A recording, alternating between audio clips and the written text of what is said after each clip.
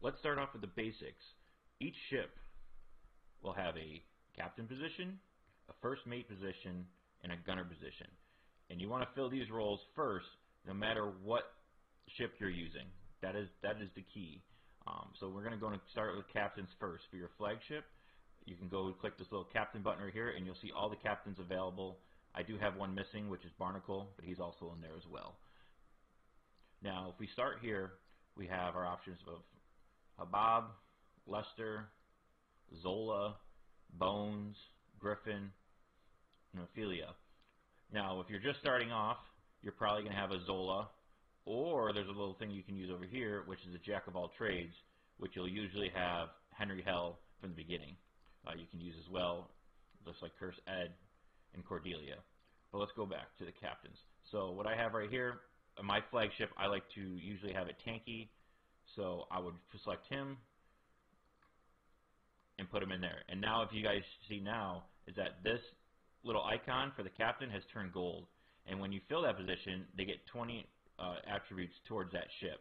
So that's a huge, that adds tons of power to your ship. So you always want to fill this role no matter what. Even if it doesn't line up with what the ship, um, if it's for drowning damage or fire damage or strategic damage or cutthroat damage, that that's secondary. You always want to fill these roles first, and that's what really matters.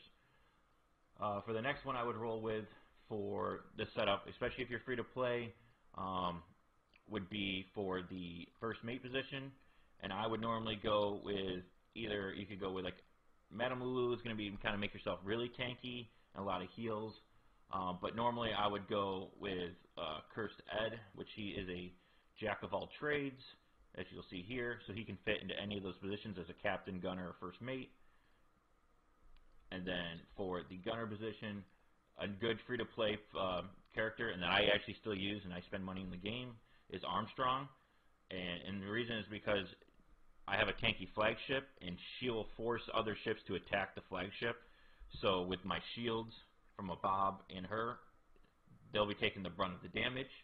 Now, if you don't have a Bob, you can kind of swap out for like a, a Zola.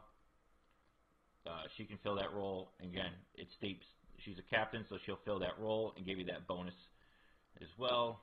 If you don't, like I said, all attributes 20% every time you fill that role. So that's huge. Adds a lot of stuff to you.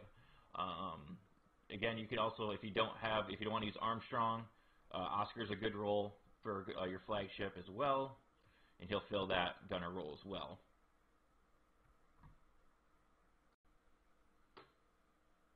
Now let's move on to the next ship, which I am going to use the Fearless Princess as the next example. Again, we have three roles to fill. We need a captain. So personally, I would use, if you have them, would be Griffin. He's a great one for the strategy damage. As I'll go and show you, Fearless Princess is looking for offensive characters and strategic. Again, strategic is just secondary. It's just going to add a little bit more damage to you to the overall. Um, so it's not that big of a deal. The biggest deals are filling these positions. So I'm going to use Griffin there, and then my normal build would be Boa as the first mate, and I would use Cordelia for the heals to keep uh, the ship alive while they're doing damage. Um, now again, this is for people that are spending money, so you're probably not going to have that, so let's go to a free-to-play setup. Let's get rid of these.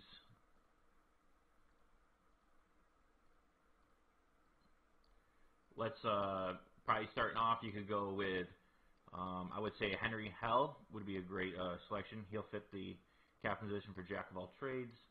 The next, you could either go with Madame Lulu, I would say. She would be a good fill. You could put her there, Madame Lulu.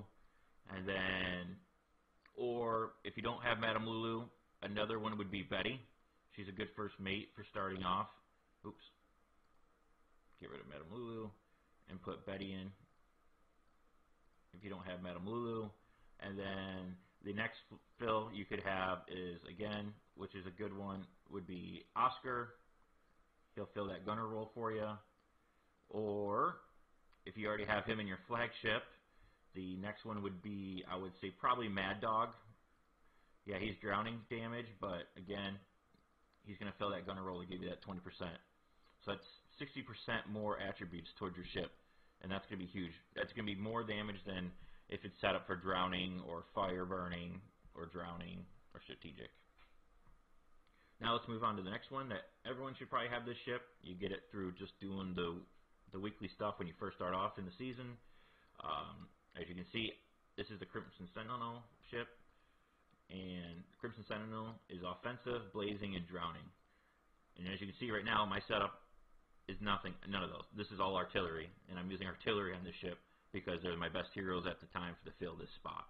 Um, but if we are going for drowning or burning, we can start off with, uh, if you had Barnacle, which I do not have Barnacle, he'd be a great captain for drowning. So we could do, we'll set up like, so you would use Barnacle here, and then the next one would be Eileen, I would say, um, right here, for the drowning and for the first mate position.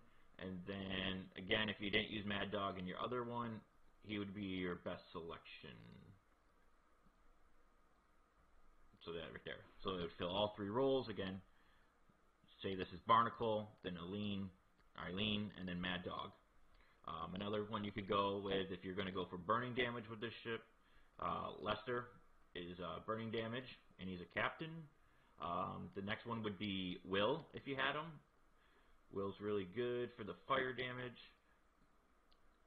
He fits the gunner position, or sorry, the first mate position, and let's go with Ned. Ned will also pitch that gunner position, and that's a full burning damage for that ship right there. So it would be Lester, Will, and Ned. He'll, they'll give you the full burning damage, all the buffs they'll get, and they'll do all the damage, and they work well off of each other.